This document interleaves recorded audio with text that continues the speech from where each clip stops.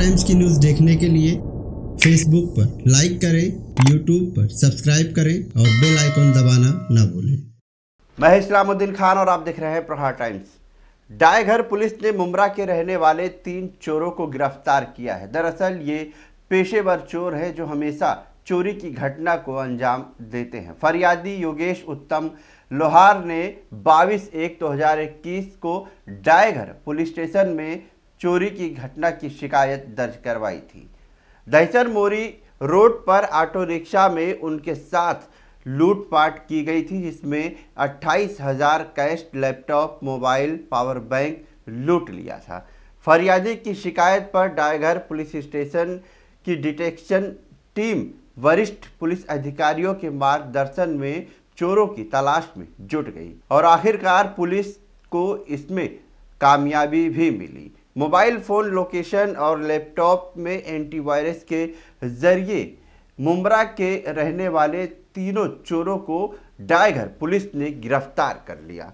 पहले आरोपी का नाम है मोहम्मद हयात इब्राहिम उर्फ़ मम्मू सैयद 30 साल, जो मुमरा के अमृत नगर का रहने वाला है, और दूसरे आरोपी का नाम है मुस्तफ़ा उर्फ़ मुस्तु हमीद पावस्कर, सैंतीस साल, जो कौसा, श्रीलंका का रहने वाला है, और तीसरा आरोपी मुजम्मिल उर्फ़, गुड्डू उर्फ़ हॉरर जसीम शेख है, जो 24 वर्षीय है, ये मुमरा के अमृत नगर का रहने वाला है। पुलिस ने बताया कि इनके पास से पैंसठ हज़ार तीन सौ रुपये के मुद्देमाल जब्त किए गए हैं। इनके खिलाफ मुलुंड नांदेड़ मुमरा पुलिस स्टेशन में और भी कई चोरी की घटनाओं के मामले दर्ज हैं। बहरहाल पुलिस ने प्रेस कॉन्फरन्स में क्या जानकारी दी है सुनिए। यातले जे आपले डीबीचे ऑफिसर आहे सोपोणी सरफरे आणि भूषण कापडणीस यांनी तांत्रिक मदतीचा आपण वापर केलेला आहे.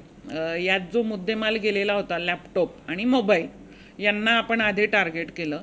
यातील जो लॅपटॉप होता त्याचा मेड ॲड्रेस आणि आय तुमचं तुमचं अँटीव्हायरस याच्यावरून आपण त्याचा आय पी ॲड्रेस शोधला. म्हणजे तो जो लॅपटॉप वापरत असेल त्याचा आय पी ॲड्रेस त्याच्यावरून प्लस जो मोबाईल गेलेला होता त्याचा जो आय एम आय नंबर होता तो आपण ट्रेस केला होता. तो दोन दिवस तर आपल्याला स्विच ऑफच होता.